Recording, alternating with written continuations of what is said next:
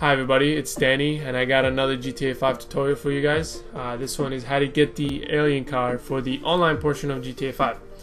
One quick note, you cannot purchase this car obviously and you cannot get it from USB mods. Just trying to get that out of the way. The only known ways to get this car is either using the ISO mods or using the duplication glitch to actually duplicate the car.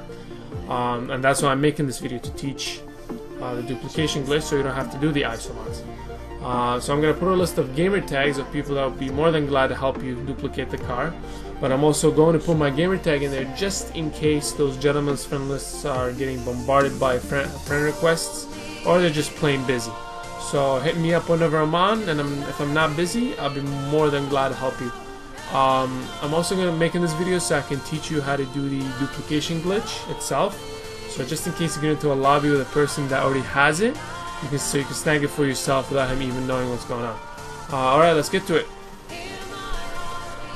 Alright, so say if you found somebody that has the car, all you have to do is get in the passenger seat, pull up your phone, next you hit job list, accept any job you want. It doesn't really matter in terms of picking a job.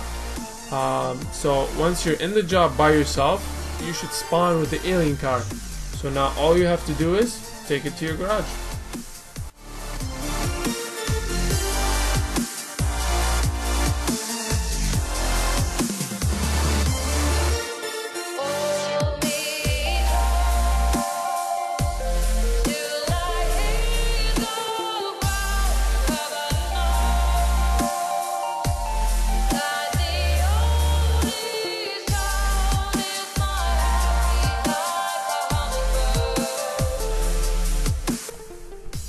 Alright, so now once you did everything I told you, you did the duplication glitch, you got the alien car, you drove it to your garage.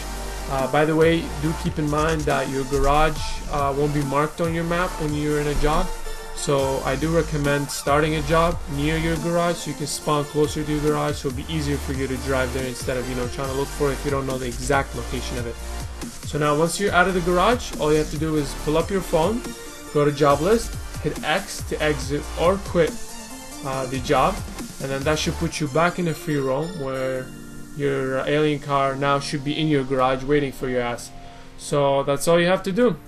Uh, but please do keep in mind that you have to take it to Los Santos Customs if you want full coverage for it. Alright everybody I hope this tutorial helped you. Don't forget the gamer tags below and don't forget to give the video a like if you find it helpful and maybe subscribe if you want more great tutorials like this one